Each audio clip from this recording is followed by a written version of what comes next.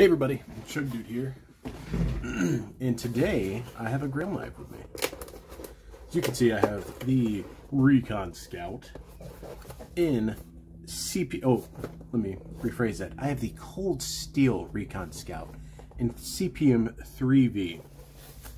Overall length is 12 and a half inches, blade length seven and a half inches, blade thickness is 5 sixteenths of an inch, and the handle is 5 inches long, and it's Kray-Ex, Kray-Ex handle. That's trademarked. Um, new Cold Steel logo here. I kind of like the new logo. Um, I don't mind the uh, the company and everything being taken over by GSM or being bought out by GSM. Lynn Thompson still has a role in it. You know, you've seen that. Um, he's still doing videos with them. I think they're really, they've really listened and responded to people. Now, there's some people who just seem a bit, you know, I think this word's overused, but they, they're kind of toxic about it. They're like, ah, it'll never be the same again. Listen, we had a good run, and I think you're being a little dramatic. It's not like we're never going to see good knives from Cold Steel again. The knives they're coming out with right now aren't bad, you know? Um, let's see here. That's what I was going to show you guys. There we go. So, new banner, uh, Cold Steel, anytime, anywhere, you know? That's a good saying. Anytime, anywhere. Anytime, anywhere. For what? Who knows? Could be anything. Could be somebody asking you for a sandwich. Anytime, anywhere. We're committed. But no, I like the new stuff they're coming out with. I've seen the the knives they've shown at Blade Show. I'm very interested in them. I want to see the new Atlas lock and see how it performs. I'm holding off judgment until I see all these things. Uh, their new knives look pretty neat. Um, and a lot of people jump on them and say, oh, they look cheap. They look like mall knives uh, or gas station knives, I mean. And, and I just want to reference you guys to uh, where I found out about Cold Steel was in a mall. You know, typical mall ninja stuff. So it's not really a change of pace for me. I've never seen it as a change of pace. And the thing is, they're really, you know, I was even worried in the beginning until I, I saw that they were taking the criticism. A lot of it was not constructive. Uh, a lot of it was kind of like demeaning. But they're taking the, you know, the criticism uh, in stride, and they're trying to make better products. So I'm holding off judgment for the next five years, man. I'm as long as they put out good material, everybody can complain about it, and I'll just enjoy the, the knives. I'll enjoy everything they put out that I like, you know. But let me get off my soapbox. This is the Recon Scout, and as you can see, I, I am calling this an unboxing, but I couldn't wait for you guys. I'm sorry. I had to unbox it. Here it is.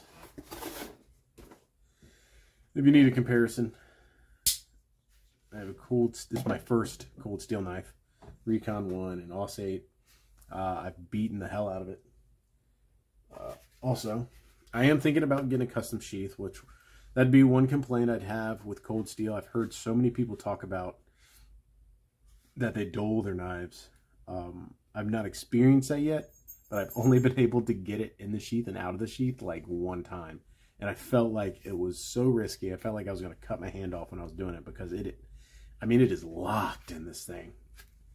And maybe it just takes a little bit of breaking in. I'm not sure, but it holds it tight. But I'm, I'm real worried about it dulling the knife. So I think I'm just going to get a custom sheath made. Uh, guy named, uh, not his name, his channel's Black Bear Kydex. I believe Black Bear Custom Kydex on YouTube. He does a lot of custom sheaths and I'm really interested in getting one made. So another knife right here is the Mora Garberg, which would probably be my bushcraft knife. Uh, fairly cheap, it's a hundred something dollars. Oh, wait. Silly chug, dude. Let's see the knife. Schwank. Look at that. It's a thing of beauty. This thing is so amazing. I love the handle. They have a sharpened swedge, so this thing can be used for outdoor activities and also combat, just in case you run into any I don't know, bears in the woods and you don't have a gun for some reason, uh, this would be a deterrent, although you have to get mighty close to a bear to deter him with this thing. Uh, that's uncomfortably close. I would almost recommend having a shield with you as well if you're going to take that route.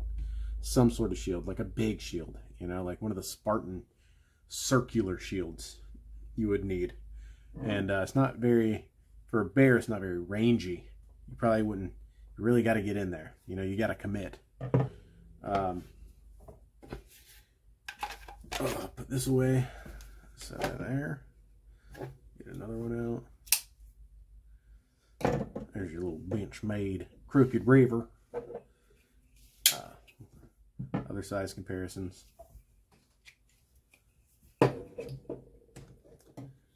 Anyways, it's kind of been a grail knife of mine. I want this one in the Trailmaster, uh, but I could not like ideally, I wanted the Trailmaster, but when I saw the deal on this thing, I had to hop on it.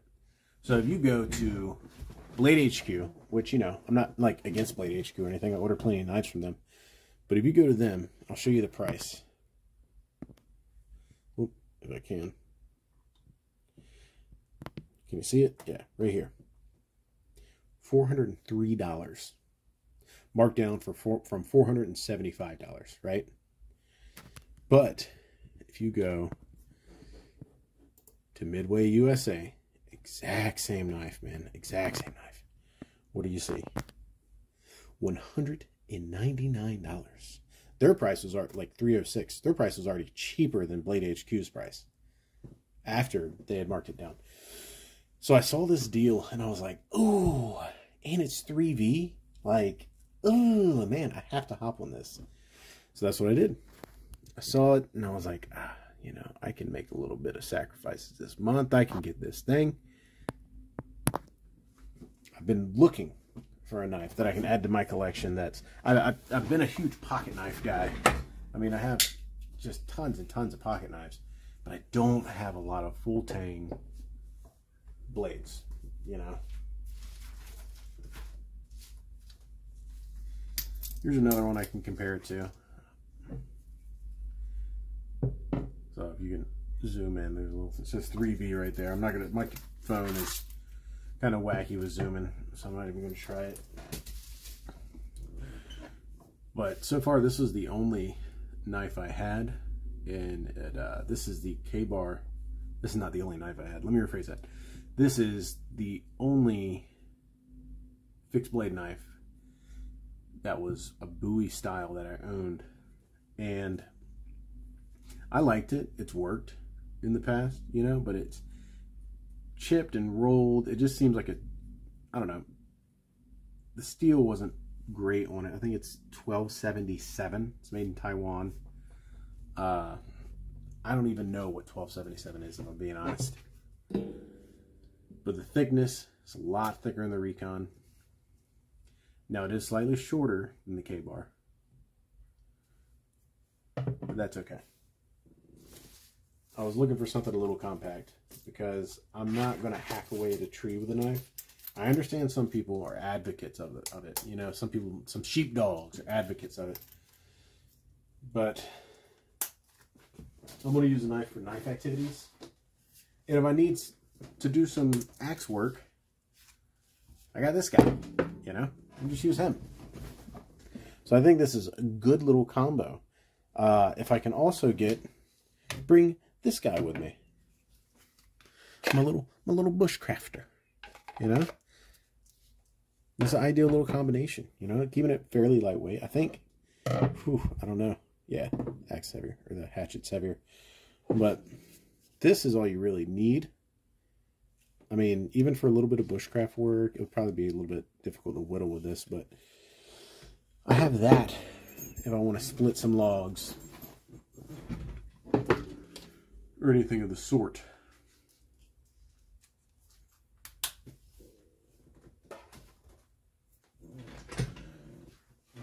So again, I, the handle, I love the handle. Blade, I love the blade shape. I love the sharpened choil. Love the sharp spine. The only not it's not really a qualm. It's like a petty little thought. Is I wish it was convex.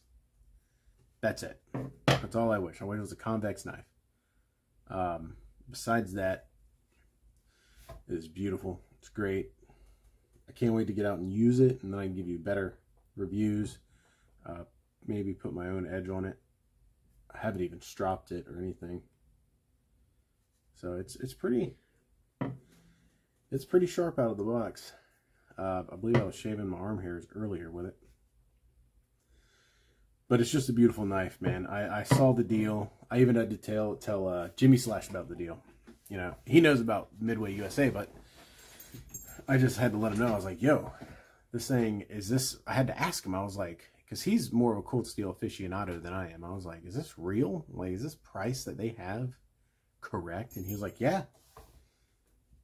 Yeah, it seems to be. so, I'm super. I mean, I can't.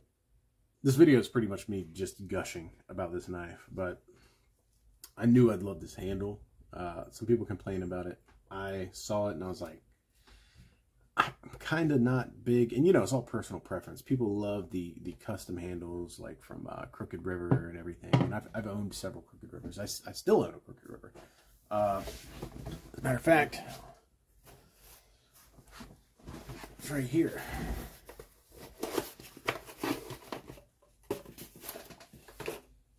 And you know, what is this? I forget this guy's called. Yeah, but I, uh, which one was this? This was the uh, JX6 Companion. There you go. And you know, this is a good knife.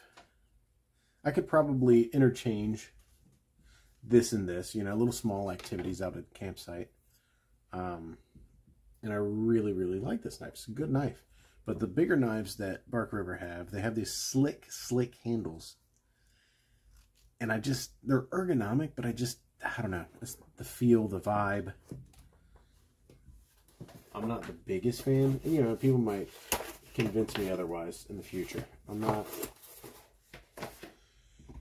I'm a flip-flopper. But I saw this handle and I really thought I'd enjoy it. Anyway, this is just me showing off this new knife, pretty much. Uh, it is dope. I can't wait to get out and use it. And I'll be coming to you guys later with updates on the readiness trials, the Redcon 1 readiness trials. So far, I've been doing keto. Um, I caught COVID in the beginning, so I was kind of, you know, messed up from that. But uh, I'm over it now, and I've been doing keto and intermittent fasting and working out. So we'll see what my weight's at Monday. I started at 272. I'm hoping to be around. Oh, sorry, choking.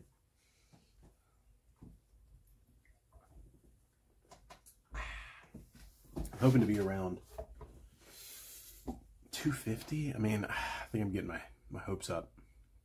But I'd like to be around 250. Eventually, getting back down to good old 200 days. I can't be arm wrestling these monsters at heavyweight.